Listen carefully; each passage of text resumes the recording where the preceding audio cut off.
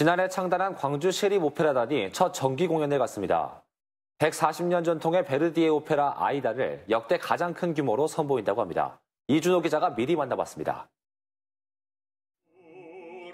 사랑하는 연인과 조국 사이에서 갈등하는 장군 라다메스의 슬픔이 비장한 아리아에 녹아 있습니다.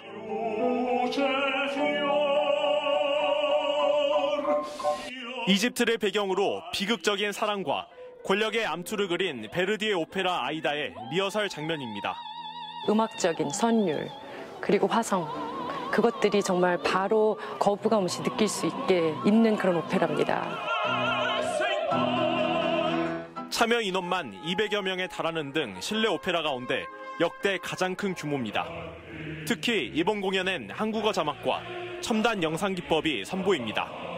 관객들이 쉽게 오페라에 접근할 수 있도록 어, 대단히 합창단, 그 다음에 대단히 발레단, 대단히 연기자들을 대한민국에서 가장 큰 메모단 수준으로 저희들이 끌어올렸습니다.